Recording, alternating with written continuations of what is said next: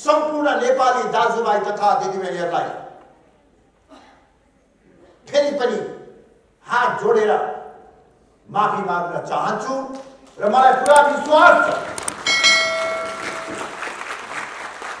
नेपाली जनताले हामीलाई माफ गर्नेछन् र फेरि एकपटक हामीलाई विश्वास गरेर काम गर्ने मौका दिनेछन् भन्ने मैले आशा र विश्वास गलत प्रवृत्तिको विरुद्धमा आत्मसमर्पण होइन।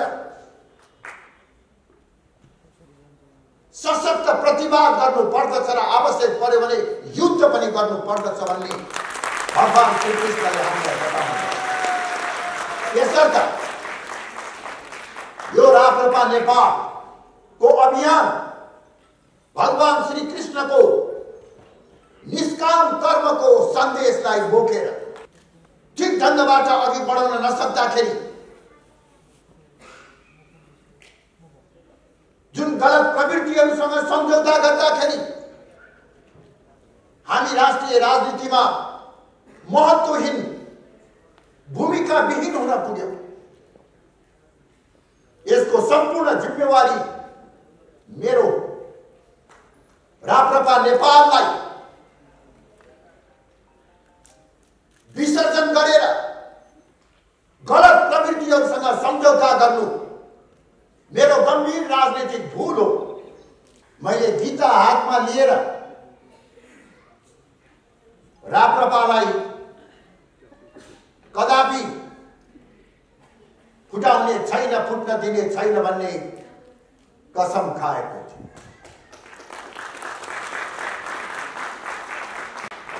हामी सनातन धर्मावलम्बीहरूको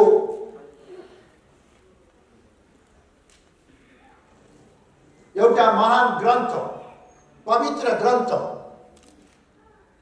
त्यसलाई छोएर मैले राप्रपा कहिले नफुटाउने कसम खाएको मलाई सम्झना छ।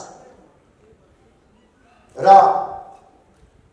धार्मिक र आध्यात्मिक मान्यतामा विश्वास राख्ने भएको कारणले गर्दा मलाई आज यो भन्दाखेरि खुसीको पनि अनुभव हुन्छ। मैले राप्रपा फुटाएँ।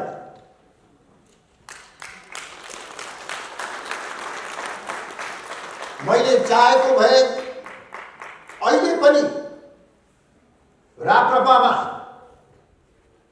हामीप्रति स्नेह सद्भाव र समर्थन राख्ने बहुसङ्ख्यक केन्द्रीय सदस्यहरू हुन् कतिपय केन्द्रीय सदस्यहरूले विधान बमोजिम कानुन बमोजिम चालिस प्रतिशत पुर्याएर पार्टी फुटाउँ भन्ने सल्लाह पनि दिनुभएको थियो। तर मैले पार्टी फुटाउन चाहिनँ। बलियो पार्टी बन्छ भन्ने मान्यतामा म विश्वास राख्थेँ वास्तवमा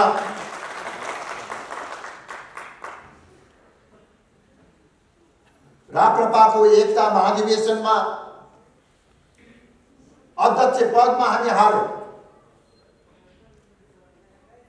त्यो हारलाई हामीले सरिदयताका साथ स्वीकार गर्यो।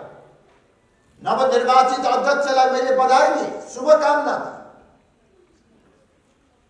र मैले केवल यति मात्र अनुरोध गरेँ कि राप्रपाको आन्तरिक मामिलामा जुन संस्थाप्रति हामी अगाध आस्था त्यही संस्थाबाट हस्तक्षेप भयो। तपाई जित्नु भएको छ। तपाईँको वैधतामाथि मेरो कुनै प्रश्न छैन। पाँच वर्षको लागि तपाईँ अध्यक्ष। म तपाईँलाई सहयोग गर्न तयार छु। तर राप्रपाले परिकल्पना गरेको राज संस्था एउटा आदर्श अभिभावक, राजनीतिभन्दा माथि उठेको, राष्ट्रियता र एकताको प्रतीकको रूपमा संविधानभित्र रहने सेरेमोनियल राज संस्था हो। त्यो संस्थाले कुनै एउटा दलको एउटा गुट एउटा व्यक्ति को पक्ष पोषण गर्दाखेरि हामीले परिकल्पना गरेको राज संस्थाको मान्यतामाथि आघात पुग्दछ त्यस कारणले गर्दा पार्टीले यो विषयको निराकरण गर्नु पर्दछ भनेर मैले अनुनय विनय गरेँ। दुई पटक लिखित रूपमा दिए। मेरो त्यो अनुरोध केवल मेरो व्यक्तिगत अनुरोध मात्र थिएन। देशभरिका धेरै ठुलो सङ्ख्याका पार्टी कार्यकर्ताहरूको भावना त्यसमा गाँसिएको थियो। तर त्यसलाई नजरअन्दाज गरेर मेरो एउटा सामान्य मागलाई रद्दीको टोकरीमा फ्याल्ने काम गरे त्यसपछि एक पक्षीय ढङ्गबाट पूर्वाग्रहपूर्ण ढङ्गबाट पार्टी सञ्चालन गर्ने कामहरू भयो हामीलाई योजनाबद्ध रूपमा पाखा लगाउने। पार्टीबाट धकेलेर पर पुर्याउने परिस्थितिको निर्माण भयो। यसरी जब राप्रपा सैद्धान्तिक रूपमा विचलित हुन थाले संगठनात्मक रूपमा गलत प्रवृत्तिहरू हावी हुन थाले त्यो अवस्थामा यो पार्टीको संस्थापक नेता भएको नाताले त्रिसठी साल पछिको अत्यन्तै कठिन घडीमा पार्टीलाई नेतृत्व दिएर विचार प्रदान गरेको नाताले मैले निरीह लाचा र अपमानित भएर पार्टीको पतनलाई हेरिराख्न सक्ने छुट र अनुमति मलाई थिएन मैले बाध्य भएर पार्टीबाट अलग हुनु पर्यो। मेरा अगाडि दुईवटा विकल्पहरू थिए अब जे भयो भयो राजनीतिबाट विस्रा बिस्तारै विश्राम लिएर बस्छु। तर मेरा सहयोगी शुभचिन्तक साथीहरूले मलाई त्यो विश्राम लिने अनुमति दिनु भएन र मेरो अन्तर आत्माले पनि त्यो विश्रामको विकल्पलाई उपयुक्त ठहराएन हामीले नेपालको राष्ट्रिय राजनीतिमा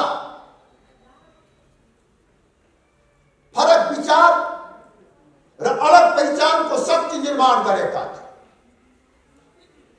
एउटा वैकल्पिक विचार हामीले दिएका थियौँ त्यो विचार समाप्त भइराख्ने र पार्टीका कार्यकर्ताहरू पलायन भएर जाने।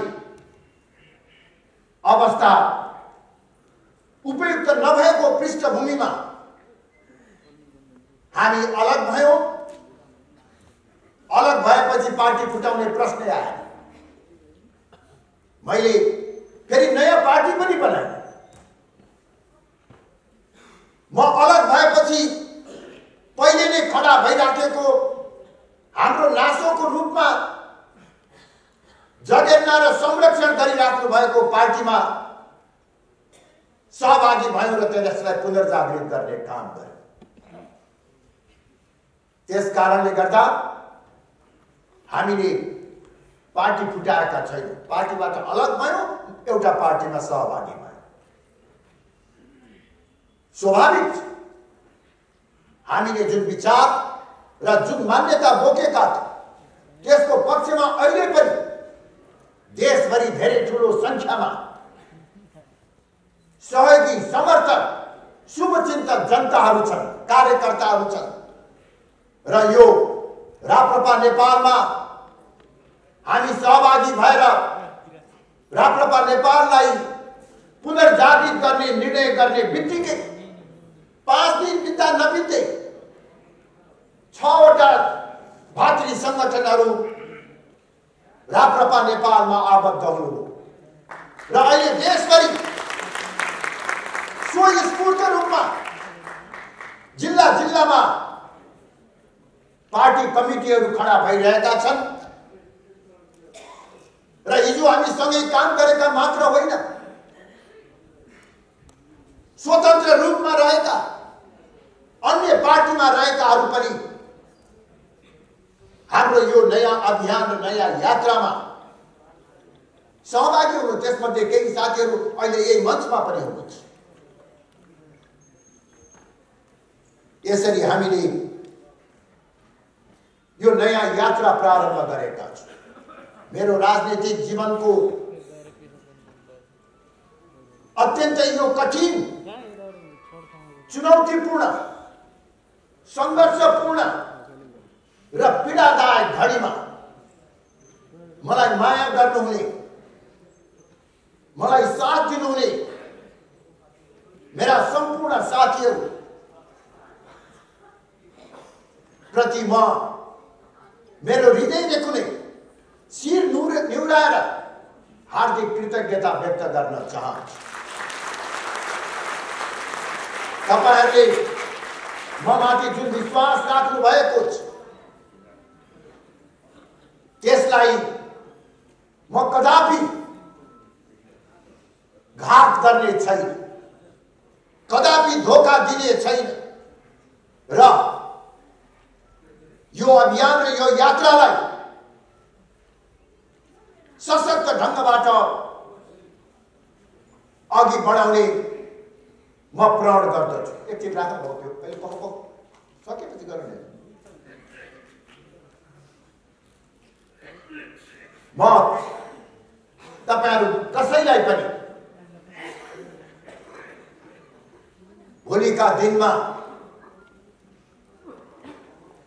धोका दिने छैन भन्ने प्रतिबद्धता व्यक्त गर्न चाहन्छु र केही समयपछि नै केही समयपछि नै राप्रपा नेपाललाई देशको एउटा जीवन्त राष्ट्रवादी प्रजातान्त्रिक शक्तिको रूपमा खडा गर्न सक्नेछौँ भन्ने विश्वास पनि दिलाउन चाहन्छु।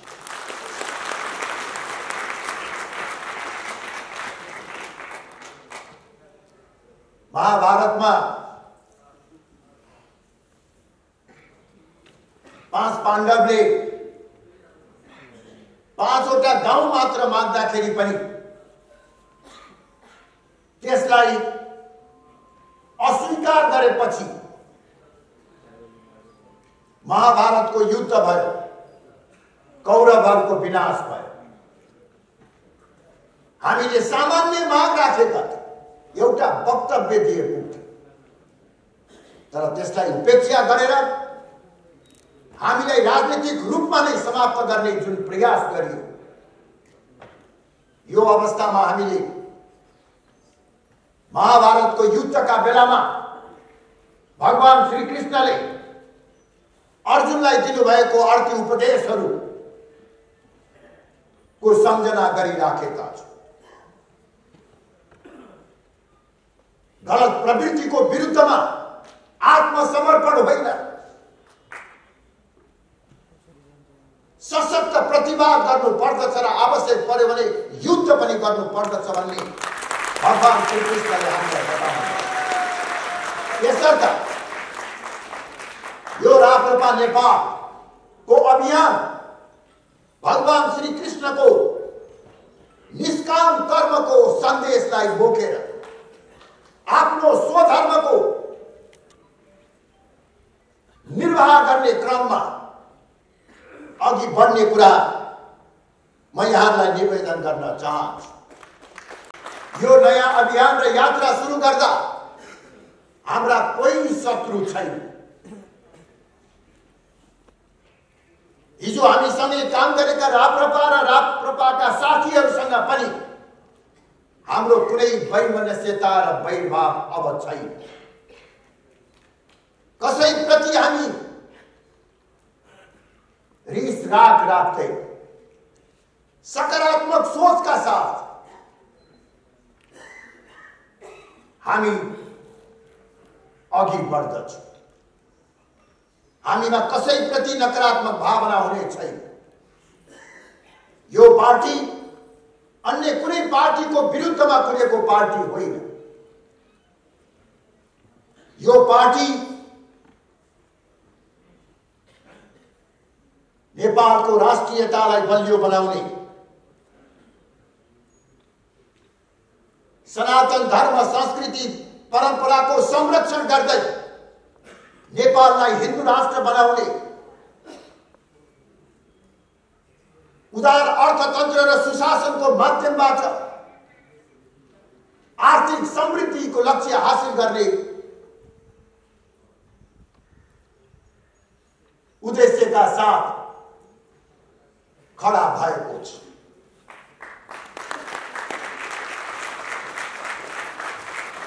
राप्रपा नेपाल को आफ्नो आदर्श दुई हज़ार त्रिसठी सालमा जब सिङ्गो मुलुक गणतन्त्रमय भएको थियो। धर्मनिरपेक्षतामय भएको थियो। संघीयतामय भएको थियो। त्यो बेलामा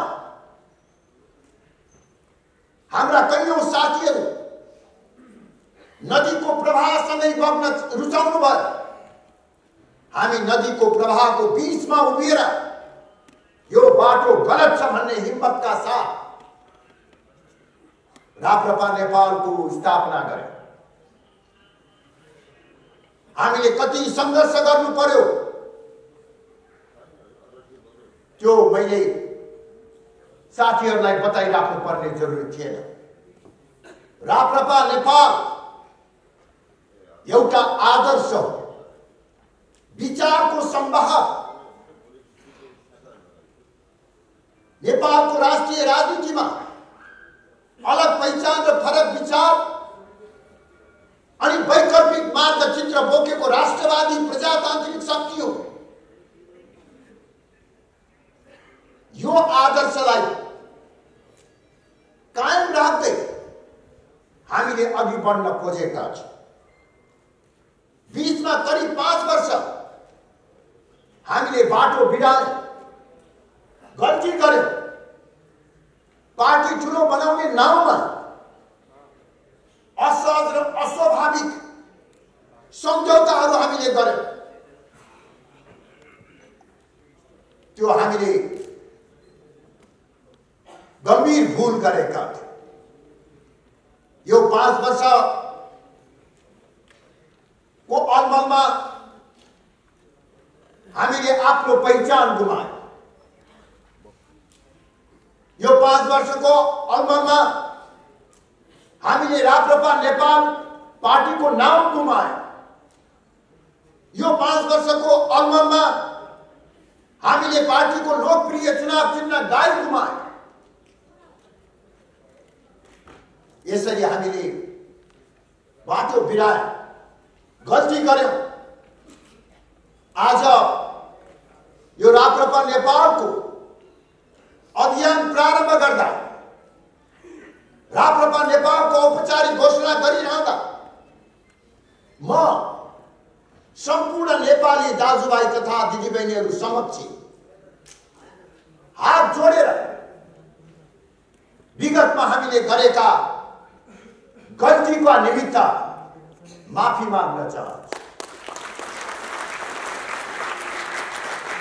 जुन गलत सम्झौता हामीले गर्यौँ त्यसको परिणाम हामीले भोगिसकेका छौँ मान्छेबाट गल्ती हुन्छ मबाट पनि धेरै गल्तीहरू भए पार्टीको नेतृत्वको नाताले मैले ठिक ढङ्गबाट अघि बढाउन नसक्दाखेरि जुन गलत प्रवृत्तिहरूसँग सम्झौता गर्दाखेरि हामी राष्ट्रिय राजनीतिमा महत्वहीन भूमिका विहीन हुन पुग्यौँ। यसको सम्पूर्ण जिम्मेवारी मेरो राप्रपा नेपाललाई विसर्जन गरेर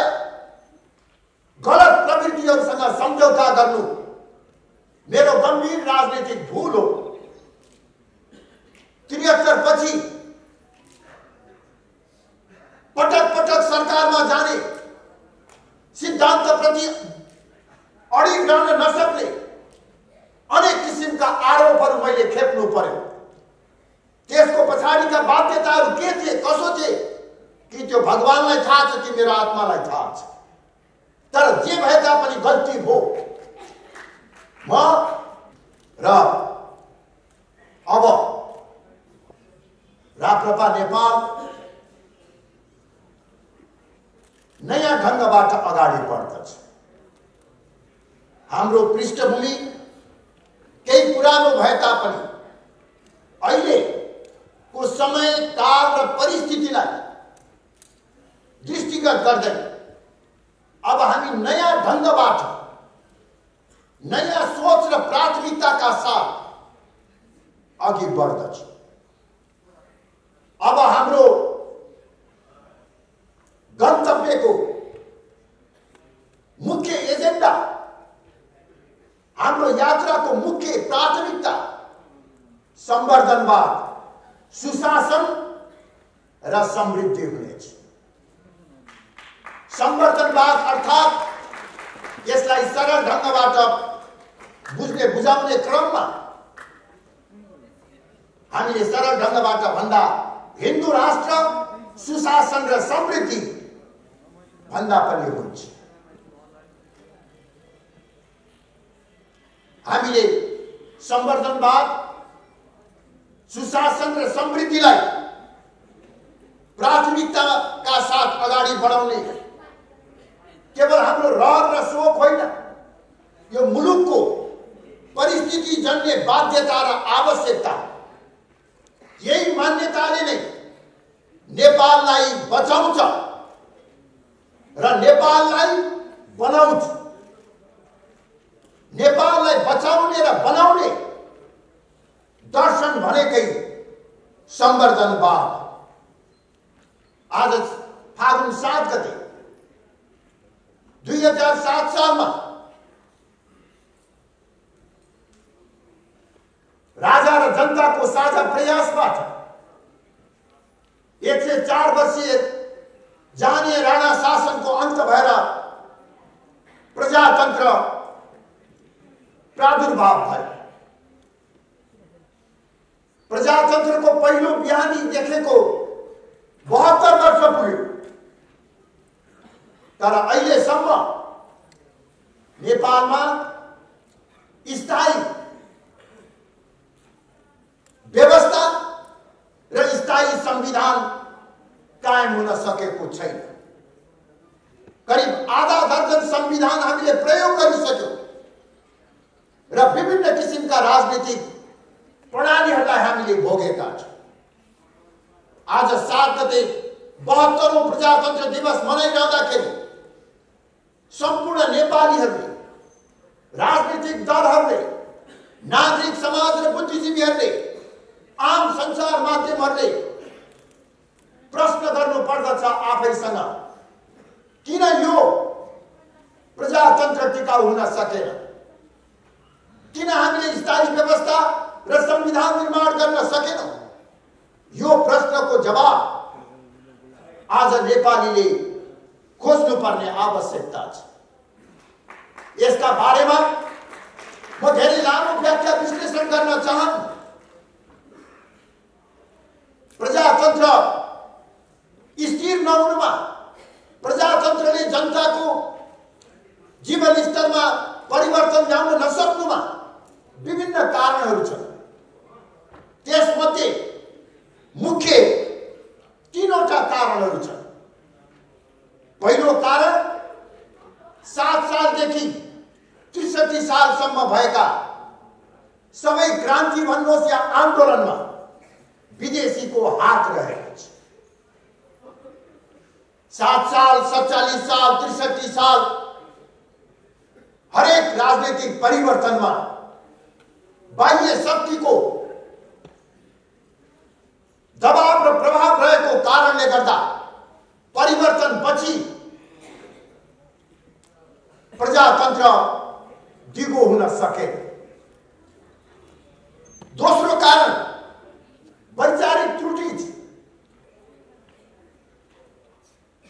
सात सालदेखि अहिलेसम्म नेपालमा जति पनि प्रमुख राजनीतिक दलहरू भए, ती सबै प्रमुख राजनीतिक दलहरू चाहे काङ्ग्रेस भन्नुहोस् चाहे कम्युनिस्ट भन्नुहोस् उनीहरूको शिक्षा, दीक्षा, प्रशिक्षण विदेशी भूमिमा भयो।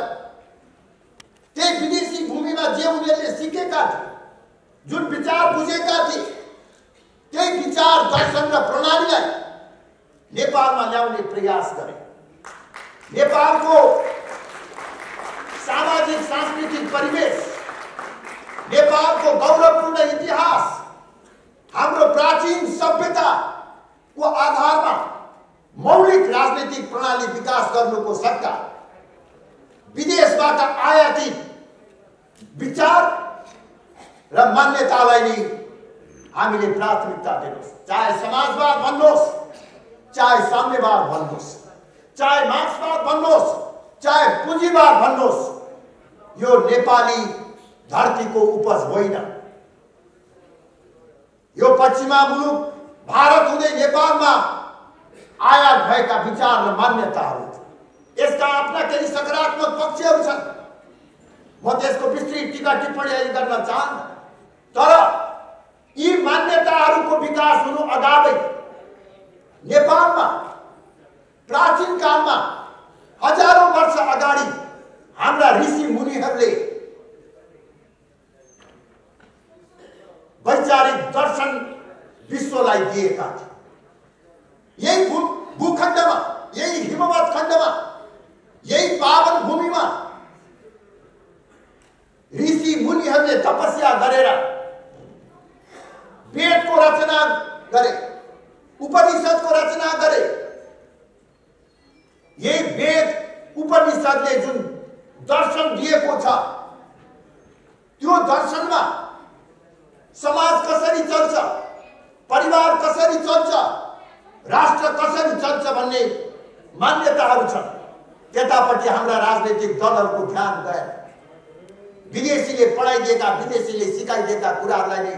हामीले आदर्शको रूपमा लिएर गयौँ। त्यसरी नेपालमा प्रजातन्त्र दिगो नहुनुमा एउटा प्रमुख कारण वैचारिक त्रुटि पनि। तेस्रो कारण राजनीतिक परिवर्तनसँगै आर्थिक परिवर्तन हुन सके। यिनै वास्तविकतालाई दृष्टिगत गर्दै हामीले सम्वर्धनवाद सुशासन र समृद्धिलाई प्रमुख एजेन्डा र प्राथमिकता दिएका सम्वर्धनवाद भनेको नेपालको सन्दर्भमा राष्ट्रवाद। संवर्धनवाद भनेकै राष्ट्रवाद। सम्वर्धनवादको मूल तत्त्व राष्ट्रियता हो। यसै गरी सम्वर्धनवादले वैदिक सनातन मूल्य र मान्यतालाई आत्मसात गर्दछ। सम्वर्धनवादले हिन्दू राष्ट्रको मान्यतालाई आत्मसात गर्दछ। सम्वर्धनवादले समावेशी प्रजातन्त्रलाई आत्मसात गर्दछ। सम्वर्धनवादले समन्वयात्मक मानवतावादलाई आत्मसात गर्दछ। र सम्वर्धनवादले जनमुखी उदार अर्थतन्त्रलाई आत्मसात गर्दछ। त्यसैले जब हामीले सम्वर्धनवाद भनेर आफ्नो मूल नाराको रूपमा लिएका छौँ यो सम्वर्धनवाद भनेकै राष्ट्रवाद हो सुशासन र समृद्धिको आधार हो भन्ने कुरा हामी सबैले बुझ्नु पर्दछ। हामीले हिन्दू राष्ट्रको कुरा गरेर धर्मको आधारमा राजनीति गर्न खोजेको होइन। हिन्दू राष्ट्रको माग गरेर केवल एउटा धर्मलाई मात्रै हिन्दू धर्मलाई मात्रै राज्य जसले विशेष संरक्षण र सुविधा दिनुपर्छ भन्ने हाम्रो माग होइन। हामी सबै धर्मका बिचमा समानता सबै धर्मलाई बराबरीको स्वतन्त्रता कायम राख्दै सबै धर्मसँग सद्भाव र सहकार्य गरेर हिँड्ने मान्यतामा विश्वास गर्दछु। सर्वधर्म समभाव र पूर्ण धार्मिक स्वतन्त्रता सहितको सनातन हिन्दू राष्ट्रको हामी कुरा गरेका छौँ सनातन धर्म भन्नाले नेपालमा प्राचीन कालदेखि प्रचलनमा आएको हिन्दू धर्म बुद्ध धर्म किराँत धर्म र प्रकृति पूजनलाई जो यो नेपाल धरतीमा हजारौँ वर्षदेखि चल्दै आएको थियो। त्यो मान्यतालाई नै हामीले सनातन धर्म भनेर भनेका हुन्छौँ। यही सनातन धर्मलाई हामीले किन जोड दिएको? हामीले धर्मको आधारमा राजनीति गर्न खोज्या होइन। हामीले पूजा आराधना उपासनाको अधिकारको कुरा गरेका होइनौँ। वास्तवमा हिन्दू राष्ट्र एउटा दर्शन हो एउटा मान्यता हो। यो हामी पार्टीका सबै कार्यकर्ताहरूले पनि बुझ्नु पर्दछ र आम जनतालाई पनि बुझाउनु पर्दछ। हामीले संविधानमा केवल दुई शब्द हिंदू राष्ट्र लेखाउन खोजेको मात्र होइन। हिंदू राष्ट्रको कुरा गरेर, पूजा आराधनाको कुरा सनातन धर्म वा सनातन हिंदू राष्ट्र नेपालको पहिचान मैले अघि नै भने हजारौँ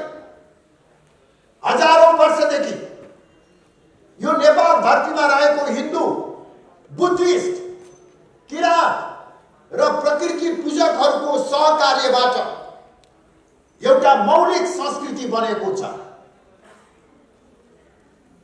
त्यो मौलिक संस्कृतिको जगमा नेपालीको पहिचान बनेको छ। त्यसकारण जब हामीले हिन्दू राष्ट्रको कुरा गर्छौँ त्यो पहिचान रक्षाको कुरा हो। केवल पूजा आराधना गर्ने अधिकारको कुरा होइन। यसै गरी सनातन धर्म भन्नुहोस् वा हिन्दू राष्ट्र भन्नुहोस् हाम्रो एकताको आधार पनि।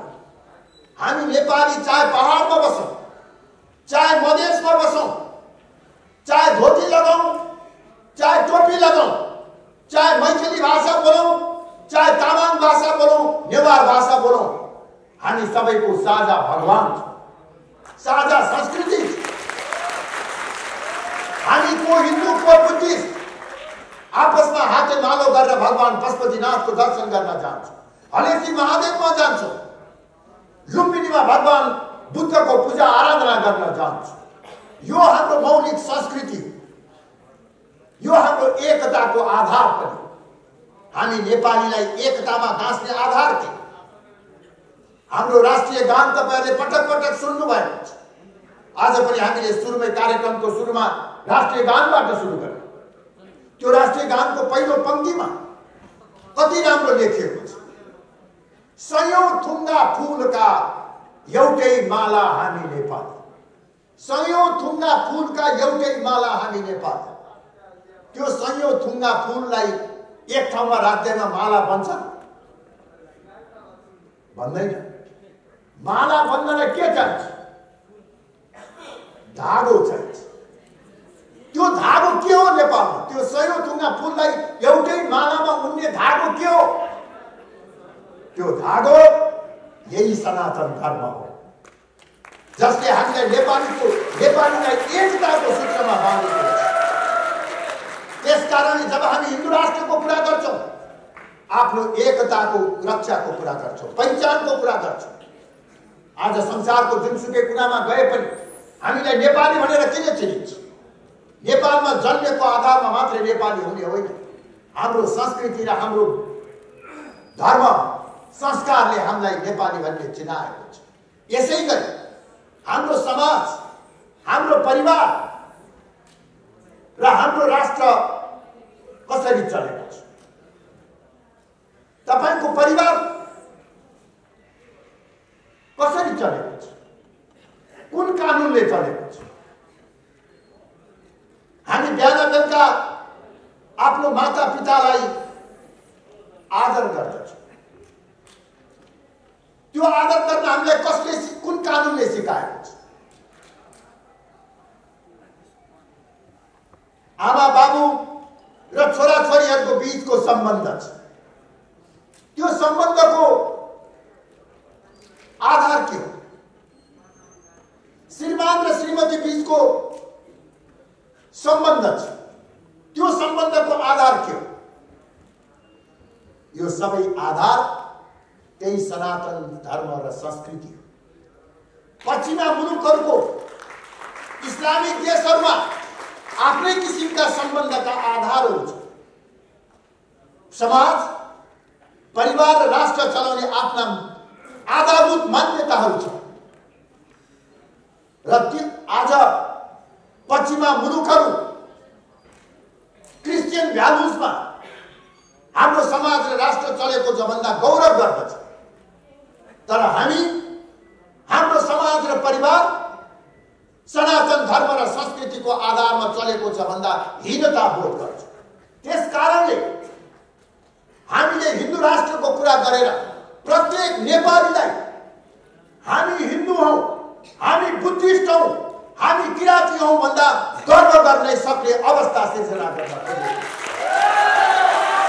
हरेक हामीले यो धर्म निरपेक्षताले यो धर्म निरपेक्षताले हाम्रो यो संस्कृति र मान्यतालाई अतिक्रमण गरिराखेको छ।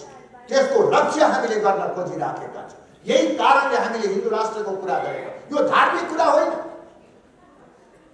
यो हाम्रा पहिचान एकता र राज्य समाज सञ्चालनका आधार मैले आज अलिकति राज संस्थाको बारेमा पनि केही चर्चा गर्नुपर्ने हुन्छ।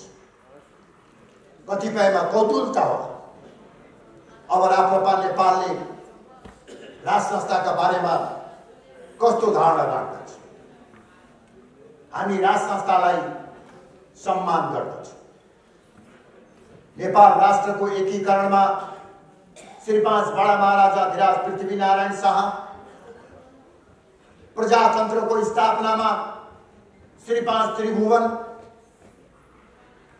नेपालको आधुनिकीकरण र राष्ट्रियताको सम्वर्धनमा श्री पाँच महेन्द्र र नेपालको पूर्वाधार विकासमा श्री पाँच वीरेन्द्रले पुर्याएको योगदानको हामी उच्च मूल्याङ्कन र प्रशंसा गर्दछौँ।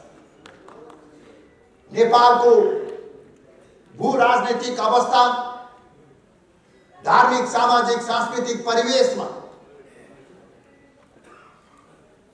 राजनीतिभन्दा माथि उठेको सेरेमोनियल संवैधानिक राज संस्था उपयुक्त हो। तर विगत केही वर्ष यताका पटक पटकका घटनाक्रमले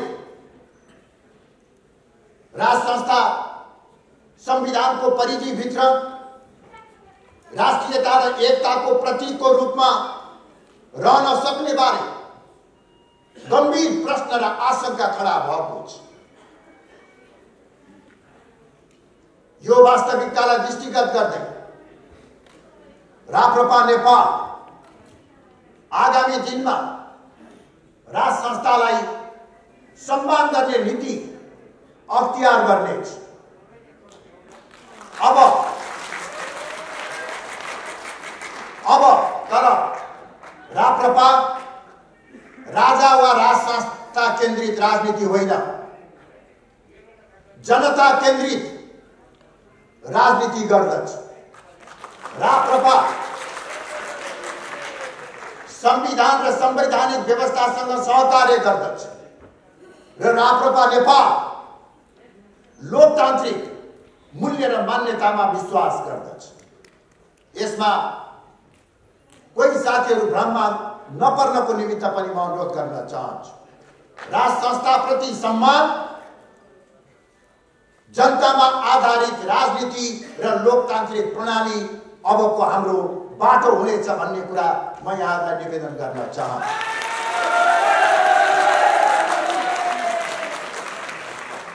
यस पृष्ठभूमिमा म राप्रपा नेपालको यो अभियानमा साथ सहयोग र समर्थन दिनका निमित्त सम्पूर्ण नेपाली दाजुभाइ तथा दिदीबहिनीहरूमा विनम्रतापूर्वक आग्रह गर्न चाहन्छु। आज हामी सानो छौँ। हाम्रो धेरै ठुलो महत्वाकांक्षा छैन। नेपालको राष्ट्रिय राजनीतिमा अहिले वामपन्थीहरूको वर्चस्व रहेको छ। प्रजातान्त्रिक शक्तिहरू कमजोर रहेका छन् यो अवस्थामा देशले एउटा बलियो प्रजातान्त्रिक शक्तिको आवश्यकता महसुस गरेको छ। यस्तो प्रजातान्त्रिक शक्ति जो जनताको सर्वोच्चतामा विश्वास गरोस्। यस्तो शक्ति जो मन वचन र कर्मले राष्ट्रवादी होस्। यस्तो शक्ति जो सनातन धर्म संस्कृतिको रक्षाका निमित्त प्रतिबद्ध रहोस् यस्तो शक्ति जसले सुशासन र उदार अर्थतन्त्रको धरातलमा नेपालको आर्थिक विकास र समृद्धिको सपनालाई साकार पार्न सकोस्। नेपाली जनताका ठुला चाहना छैनन्। आज गाउँमा गएर सोध्नुहोस् जहाँ अधिकांश जनता बस्दछन् सहर बजारमा बस्ने सामान्य नागरिकलाई सोध्नुहोस्। उनीहरूको धेरै ठुलो सपना छैन। धेरै ठुलो चाहना छैन। आज बहुसङ्ख्यक नेपालीहरूको चाहना भनेको दुई छाक पेटभरि खान पाउने। एक सरो। एक सरो। एक सरो लुगा लगाउन पाउने। बिरामी हुँदाखेरि सजिलोसँग औषधि उपचार गर्न पाउने। आफ्ना छोरा छोरीहरूलाई राम्रो शिक्षा दीक्षा दिन पाउने र आफ्नो योग्यता र क्षमता अनुसार गरी खान पाउने यो नेपाली आम नेपाली जनताको सपना नेपाली जनताको यही सपनालाई पुरा गर्न सक्ने शक्ति राप्रपा नेपाललाई हामीले बनाउन खोजिराखेका छौँ यसमा सबैको साथ र साथको निमित्त अनुरोध गर्न चाहन्छु। हिजो हामीसँगै काम गरेका साथीहरू बिना सङ्कोच यो अभियानमा सहभागी हुनुहोस्। अन्य राजनीतिक दलहरूमा रहेका साथीहरू पनि यो नयाँ यात्रामा सरिक रहनुहोस्। र देशलाई एउटा बलियो राष्ट्रवादी शक्ति बनाउनु हामी लामो यात्रामा हिँडेका यो छोटो दूरीको यात्रा होइन खेलकुदमा रुचि राख्नेहरूलाई थाहा होला दौड सय मिटरको पनि हुन्छ बयालिस किलोमिटरको म्याराथन दौड पनि हुन्छ हामी त्यही बयालिस किलोमिटर लामो म्याराथन दौडमा लागेका छौँ। समय लाग्छ। समय लाग्न सक्छ। सङ्घर्ष हुन सक्छ। तर हाम्रो भविष्य उज्जवल छ। आज यहाँ धेरै बहुसङ्ख्यक युवाहरू हुनुहुन्छ। यो पार्टी युवाहरू। यो पार्टी अब मेरो निमित्त होइन। राजनीतिक जीवनमा उत्तरार्थ लागेका हामीहरूका निमित्त होइन। तपाईँहरूको निमित्त। हिजोसम्म हामी एउटा साँगुरो सीमाभित्र बाँधिएका थियौँ। हिजोसम्म हामी एउटा सीमित परिधिभित्र थियौँ। अब राप्रपा नेपालले अवलम्बन गरेको नयाँ सोचको कारणले गर्दाखेरि यो हाम्रो सबै सीमा र परिधिहरू तोडिएको छ र हाम्रो क्षितिज अब ठुलो भएको विगतमा हामी आठ दस प्रतिशत जनमतभित्र आफूलाई हुर्काउने प्रयास गरिराखेका अब हामी चौरानब्बे प्रतिशत ओटकार परिवारको मान्यताको क्षितिजमा हामीलाई त्यो जनमतमा हामीले आफूलाई प्रस्तुत गरेका छौँ। यस कारणले गर्दा हाम्रो भविष्य उज्जवल छ। अन्तमा आफ्नो अमूल्य समय दिएर उपस्थित हुनुहुने सम्पूर्ण दाजुभाइ तथा दिदीबहिनीहरू। तपाईँहरू सबैमा प्रत्यक्ष प्रसारण हेरिरहनु भएका सम्पूर्ण देश विदेशमा रहेका दाजुभाइ तथा दिदीबहिनीहरूमा। सम्पूर्ण नागरिक समाज बुद्धिजीवी र आम सञ्चार माध्यममा म राप्रपा नेपालको तर्फबाट तपाईँहरूमा कृतज्ञता व्यक्त गर्न चाहन्छु। तपाईँहरूको सद्भाव र सहयोगको निम्ति र आजको यो कार्यक्रम सफल बनाउनको निमित्त योगदान गर्नुहुने सम्पूर्ण साथीहरू र विशेष गरी काठमाडौँ जिल्लाका साथीहरू र काठमाडौँ जिल्लाका नेता इन्द्र चित्रकार र उहाँका सबै सहयोगी साथीहरूलाई म धेरै धेरै धन्यवाद दिन चाहन्छु।